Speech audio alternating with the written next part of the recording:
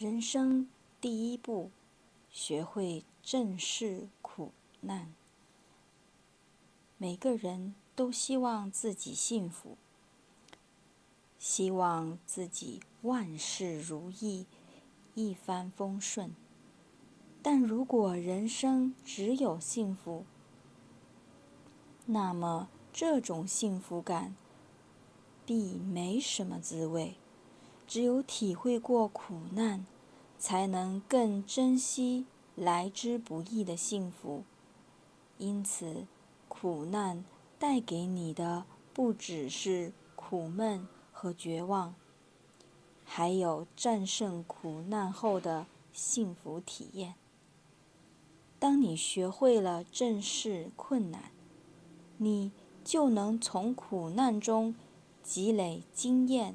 和教训，即使以后再遇到更大的苦难和挫折，你也不会退缩。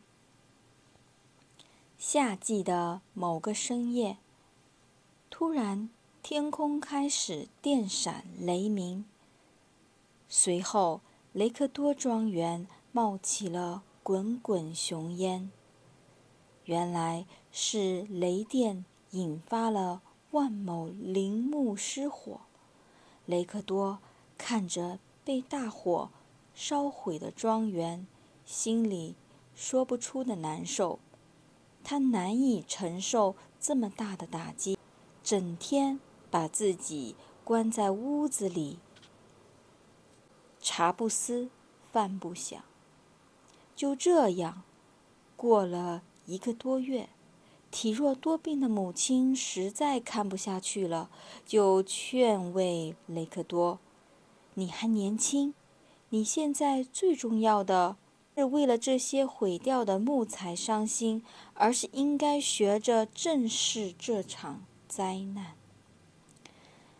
雷克多伤心地说：“母亲，这些木材本来都已经成年了。”那些果树到了收获的季节就能卖个好价钱，可是现在一切都毁了，都被毁了，我真的感到很难过。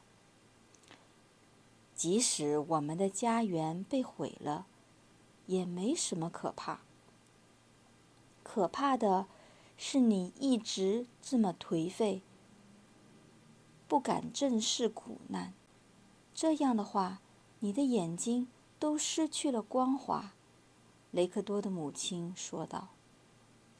雷克多点了点头，心想：“是啊，自然灾害无法避免，我总不能一辈子都沉浸在痛苦中，这样不能解决任何问题。”索性，雷克多决定出去走走。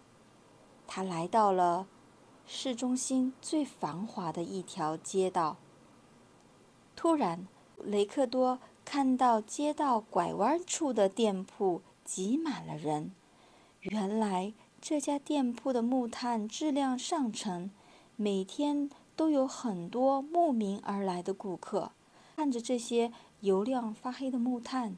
梅克多突然想到了什么，他笑了笑，自语道：“我知道该怎么办了，这下庄园有救了。”回到庄园，雷克多就雇佣了几个烧炭工人，把大火烧毁的树木都砍了下来，然后烧成优质的木炭，派人送到市区的集市上售卖。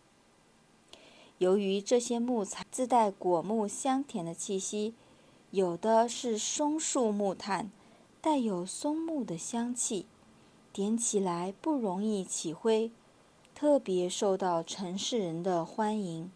很快，雷克多的木炭就被抢购一空，他获得了一大笔收入。接着，他用这些钱购买了许多树种和树苗。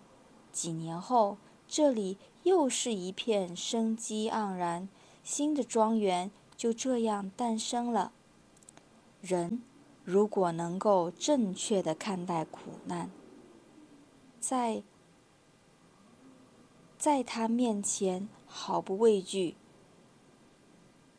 并采取积极的抗争态度，就能够战胜苦难，敢于和命运抗争，不屈于窘迫的生活，才能争取到你想要的生活。卡耐基二十四岁时放弃了自己最挚爱的演艺生涯。